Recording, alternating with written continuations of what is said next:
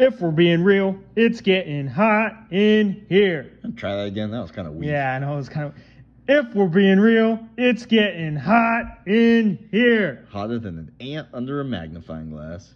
Man, people do that all the time, man. Those ants aren't happy. That's messed up. Nope, and they're pretty hot too. That's right.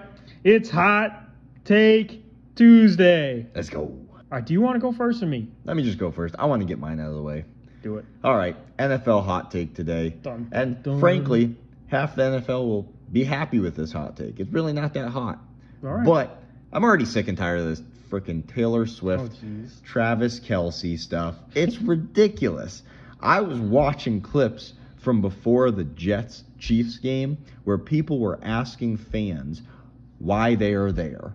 And you know what? The majority of them freaking said Taylor Swift. They were selling out seats just because they wanted to go there for Taylor Swift. It wasn't even to watch the freaking game. And then they went and asked a bunch of the fans if they would rather have their team win the Super Bowl that year or get front row seats to the Taylor Swift concert.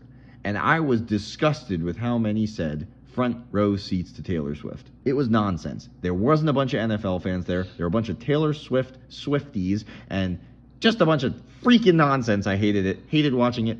Hate this for the NFL. I think this is a bunch of eyes on the NFL, but it's alienating a lot of the NFL fans, and it's bringing Swifties in for absolutely no freaking reason. It's terrible, and just wait until they break up because then that's going to be even worse for the NFL. See, that's my biggest thing with this. So the NFL actually released a statement. I don't know if you've seen this, but they released a statement saying that they are not overdoing the whole Taylor Swift thing and that they're, you know, just going to go in with it and they're going to keep promoting it that way. And in one aspect, it does make sense, but in another aspect, it doesn't. Because what you're doing is you're superficially inflating your numbers, but you're not actually getting true people. I mean, maybe you are getting some people that will stick with football for a while, but I kind of doubt it. The people that are watching, yeah, you're making more money right now, but the people that are watching are not watching because of football. And so if they break up, or if Taylor Swift stops going to games, or if, I don't know, say a month down the road and it's no longer new, they're going to not care as much. And then guess what? Your number is going to go back down, and you're still probably going to annoy some of your actual fans. I cannot wait until the numbers crash and they're going to be sitting there being like, oh, that's weird. Our numbers are down. Let's try to figure out what it is. Maybe we can pay these guys more money. Maybe we can make them rest less. Maybe we can do this. Maybe we can do that. They're not even going to mention Taylor Swift at that point because they're going to highlight how good they did this year. There's a reason they're doing so good. Freaking Taylor Swift. She needs to get out of the NFL. Go back under a rock wherever she came from. And guess what? It was on the private jet where she was giving more emissions than any other person. Did you hear the conspiracy theory about that? So they said we talking about conspiracy theories right now? uh, you know, I'm bringing it up. She is, you know, big on global warming and stuff, and has the most emissions on her private jet. And everyone was Googling this. So everyone says her response to the situation was to go to the Jets game so that when people Google Taylor Swift jet, it comes up Chiefs versus Jets. Okay, well that's not why she went to the game. No, but it's pretty funny. It's Anyways, pretty what, funny. what's your hot take? My hot take today is about the MLB. Are we going to be talking about the playoffs right now? No, but there is something. Did you hear about the Tampa Bay Rays and how their combined fans showing up was not even as much as some teams' one game attendance was? Cannot wait for them to be in Nashville. They're creating a new stadium in Tampa Bay. It's ridiculous. I can't believe they're doing that. Anyway, I know. I think the Marlins are going to be the team that ends up moving, but regardless, they the Rays literally don't put money into their team. I know they're building a new stadium, but they don't put money into getting really high paid athletes, which is crazy because they still perform amazing, but they're a team that doesn't put a lot of money into it, so they could easily slip into the phase of just constantly rebuilding. Mhm. But they don't have any fans. Yeah, no. I mean, 19,000 and 20,000 people showed up. So, like, obviously those are fans, but compared to the other stadiums, it's nothing, Yeah. like we talked about. But um, I want to bring up some rating stuff.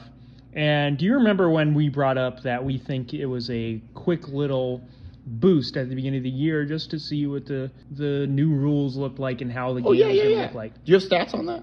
I do have a stat. Now, again, if you look this up, you're not really going to see a whole lot.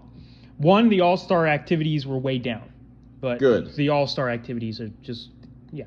each sports all star activities is way down. Baseball's probably the best out of all of them too, Mm-hmm. and it's still not entertaining when they take away stakes from it. which is sad. But I want to bring up something that ESPN released. ESPN's Major League Baseball coverage this season averaged 1.41 million viewers. 1.41 million sounds like an okay number. But did you know that it is down 2% from last year? And it is down 5% on their Sunday night baseball coverage. That is a lot. So the rules that they said was going to boost the game and boost the viewership, Nope. this year it's down 2% and 5%.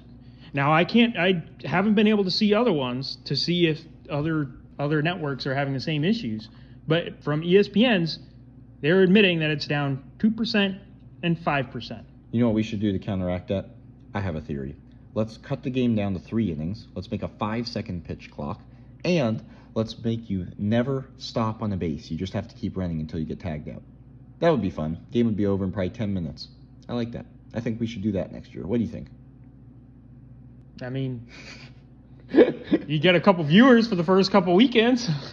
I'd tune in for about, well, the game would probably be 10 minutes. So I'd tune in for about 10 minutes, see what happens, and then I'd never watch it again. yeah, no commercial breaks, got to keep them interested. That's ridiculous. Changing the rules to make more viewers and then you go down 2 and 5%, was it? That's ridiculous. Absolutely insane. We predicted this earlier this year, right at the beginning of the season, and I'm very glad that some stats are being released about that.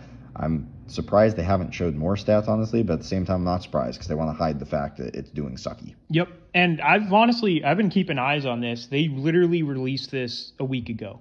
Like when we're recording this, they released it a week ago. So they weren't exactly forthright about it. They waited a while. They waited the entire year. They didn't give an update. And do you want to know why they didn't give an update? Because the numbers weren't doing what they wanted them to. Well said. All right, that's it for today. Love us, hate us, it don't matter. We're just being real.